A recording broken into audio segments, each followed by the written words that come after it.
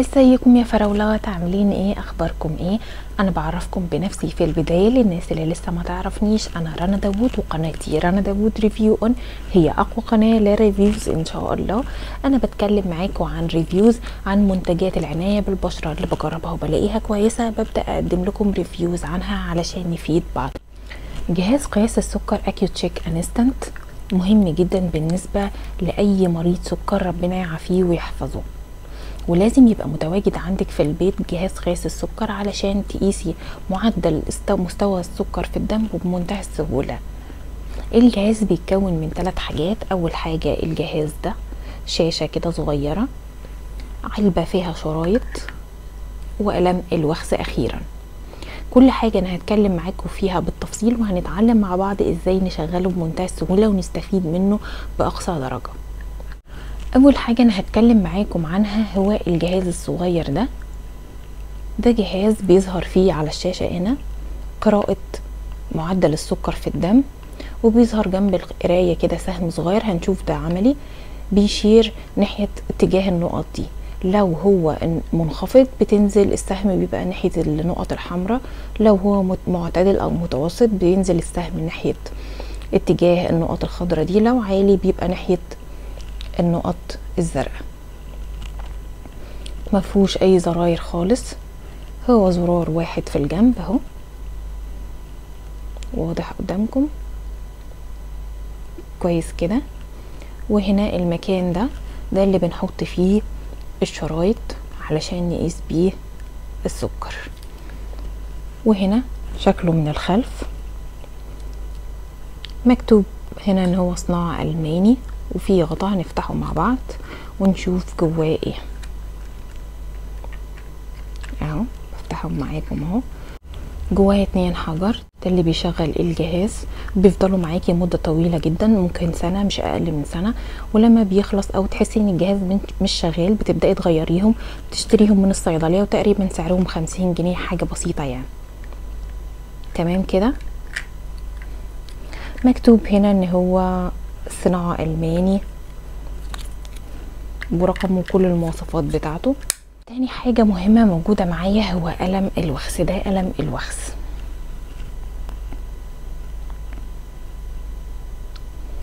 قلم الوخس ده عبارة عن قلم صغير مفهوش أي حاجة خالص.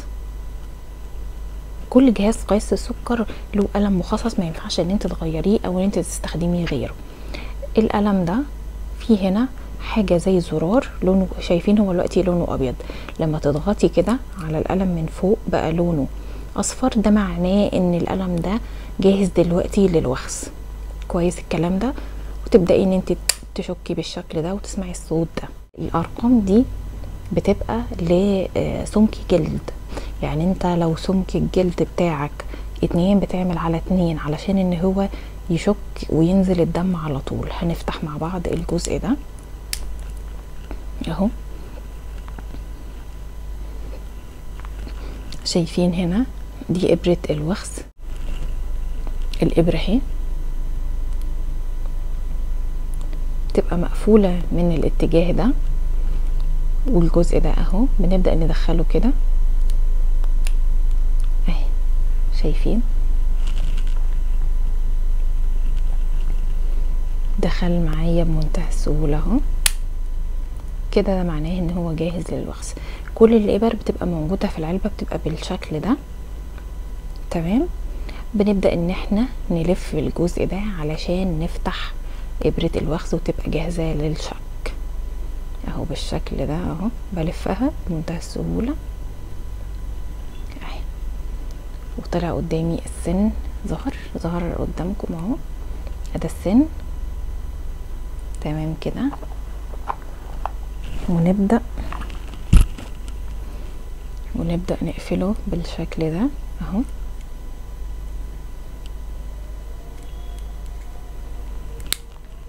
سمعتوا التكة دي؟ ده معناه إن هو اتقفل بمنتهى السهولة أهو. تمام ونظبط زي ما إحنا قلنا كده. الوخز خليها دايما يعني على تلاتة. الأفضل إن أنت تعملها دايما على تلاتة. لو حسيت بعد كده إن هي مش جايبة نتيجة تبقى تعملها على أربعة. لكن بالنسبة للبنات أو الستات هيبقى حلو جدا على تلاتة. العلبة دي فيها إبر الوخز اللي مدخلة في القلم ده.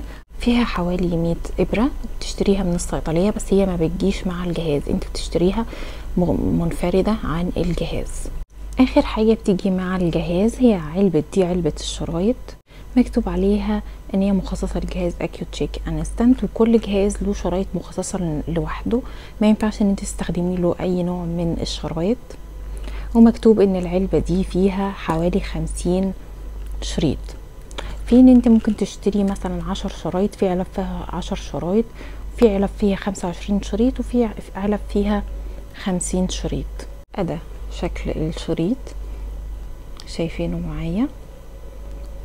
أهو. الجزء اللي فوق الجزء المعدني ده في حاجة زي سيلفر ده اللي بيدخل في الجهاز. والجزء اللي تحت ده ده الجزء الأصفر اللي بيتحط عليه نقطة بسيطة خالص جدا من الدم وبيبدأ يقيس لنا السكر. تمام كده؟ خلاص كده إحنا اتعرفنا على كل مكونات الجهاز وهنبدأ إن إحنا نقيس معدل السكر في الدم بشكل عملي. معانا دلوقتي الجهاز ومعانا قلم الوخز ومعانا الشريط. أول حاجة هنبدأ إن إحنا نحط الشريط بالشكل ده في الجهاز. شايفين أنا حطيته إزاي؟ وأول ما حطيته هيبدأ يظهر دي العلامة دي معناها إن انت تحطي نقطة الدم. خلاص إحنا سيبنا الجهاز هنبدأ إن إحنا نشك نفسنا عشان يطلع الدم ونبدأ نقيس. بصوا بقى إحنا بنجمع الدم كده في الصباع ده.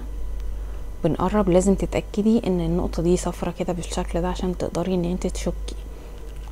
تمام؟ وبتحسي وبتجمعي كده أهو. وهتبدأي تحسي بالشكة. تمام؟ تبدأي تضغطي هنا. أهو. حسيت طبعا بالشكة. اهي بدأت نقطة الدم تنزل. هنبدأ نقرب الجزء الأصفر من نقطة الدم كده. أهو. أهو. مية واحد. تمام؟ إحنا ظهر لنا في القياسة دلوقتي شايفين السهم؟ اللي أنا قلت لكم عليه سهم صغير ده. السهم ده اتجاهه للاخضر ده معناه إن معدل السكر في الدم عندي متوسط أو كويس. لو طلع لي فوق أزرق يبقى عالي جدا السكر. لو نزل لتحت كده ناحية الأحمر اتجاه الأحمر يبقى السكر عندي واطي جدا. فده بيعرف الناس أنت معدل السكر عندك إيه. أنا استخدمت نقطة واحدة بس صغيرة جدا قست لي السكر. إحنا نزيل. الشريط بالشكل ده بنشده بالمنديل أهو. الزرار ده اللي في الجنب فايدته إن هو بيجيب لك آخر قرايات. تضغطي ضغطه كمان هيجيب لك آخر سبع أيام المعدل بتاع سبع أيام. ده آخر 30 يوم وآخر حاجة آخر 90 يوم. في هنا جزء تاني أهو في الجنب.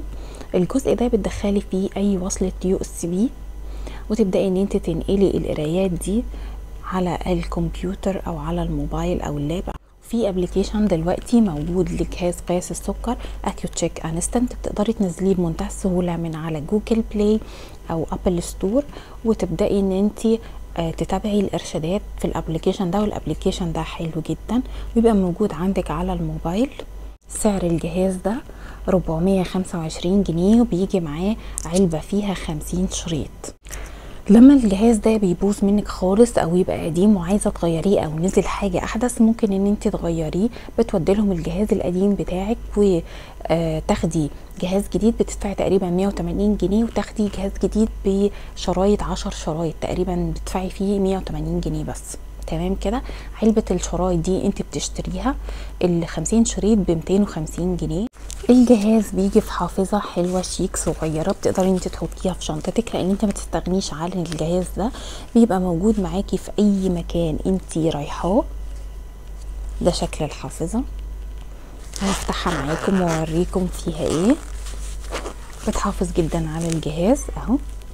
أنتوا عرفتوا معايا بمنتهى السهولة إحنا إزاي بنقيس معدل السكر في الدم من خلال جهاز قياس السكر. الجهاز ده أسهل جهاز موجود لقياس السكر في الدم وأنصحك إن أنت تشتريه وتجربيه هيبقى كويس جدا معاكي والنتائج بتاعته بتبقى دقيقة جدا وكويسة جدا وفي سهل وسهل جدا يعني أنتوا شفتوا في خمس ثواني بتبان لك القراية معايا إيه وتعلمنا إزاي نغير السن سوا وإزاي إن إحنا نشيل الشريط. الشريط استخدامه بيبقى مرة واحدة بس والسن إبرة الوخز برضو بيبقى استخدامها مرة واحدة بس أو بالكتير قوي مرتين. يا رب أكون قدرت أفيدكم في ال review النهارده عن جهاز قياس السكر Accu-Chek Instant وكان مفيد بالنسبة لكم وسهل في التعامل. ما تنسوش subscribe للقناة وفعلوا الجرس علشان يوصل لكم كل ال reviews الجديدة اللي بقدمها لكم وال videos. bye bye رنا داوود.